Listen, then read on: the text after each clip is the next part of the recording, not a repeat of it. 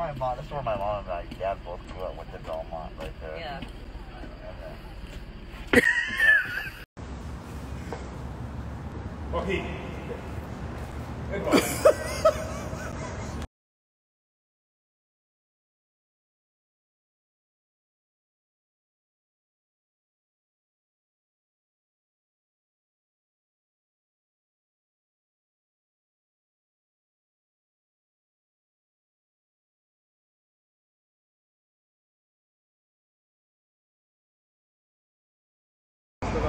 yeah.